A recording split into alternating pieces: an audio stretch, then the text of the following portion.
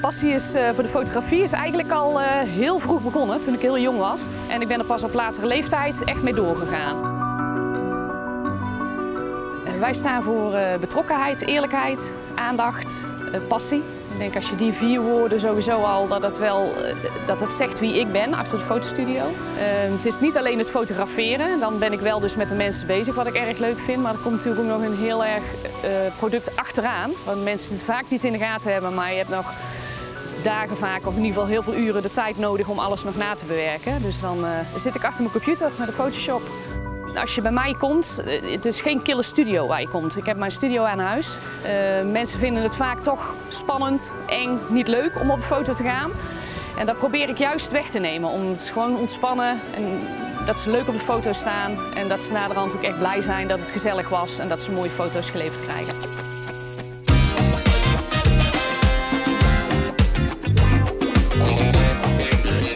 Wij doen heel veel uh, bedrijfsfotografie.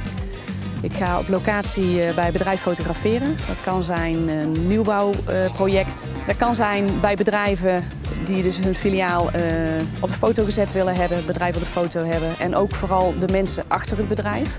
je gaat het bedrijf ga je bezoeken, je let op de architectuur. Heel belangrijk om de vraag van de klant, hè, dat je weet wat ze willen, dat je ook naderhand dus het, het juiste plaatje kunt bieden.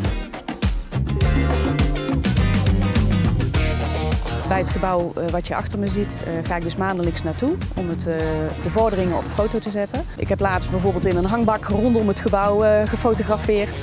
Om ook weer andere plaatjes te kunnen leveren als die ik normaal lever als je gewoon op de grond staat. binnen wordt gefotografeerd, de vooruitgang zie je dus van beneden tot boven, iedere verdieping, heel, de, heel de vordering zeg maar, van heel de bouw te fotograferen. En dat is een bijzonder leuk project om te doen.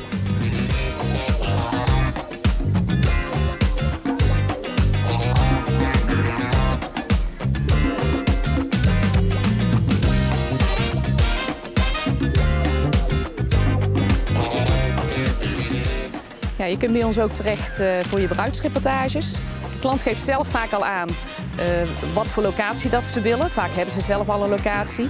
Maar ik voel ook aan wat ze zelf leuk vinden. Of dat het meer een romantische uh, locatie moet zijn. Dan ga je al makkelijker naar een bos toe. Of dat ze meer een stoere reportage willen, dan krijg je meer het industriële. Dan ga je bijvoorbeeld naar een oud fabriekspand toe. Vaak geven de mensen zelf al aan of ze ook een album erbij willen hebben. Er gaat wel heel veel tijd nadien in zitten, dus er gaat een week of zes overheen voordat ik alle foto's dus klaar heb en dat ze een, bruidsalbum weer bij mij in de studio op kunnen komen halen.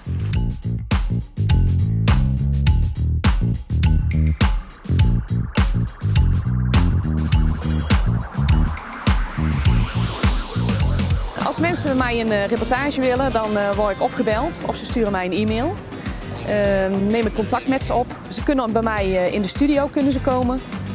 Uh, studiofotografie, maar ook net als dat je hier zit op locatie.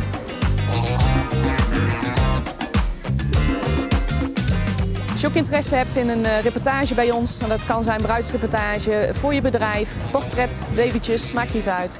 Neem contact met ons op. Uh, je kunt via social media, kun je me op allerlei kanalen kun je me vinden. Instagram, Facebook, noem maar op. je mag me mailen, je mag me bellen. Dus heb je interesse, dan neem gerust contact met me op. Thank you.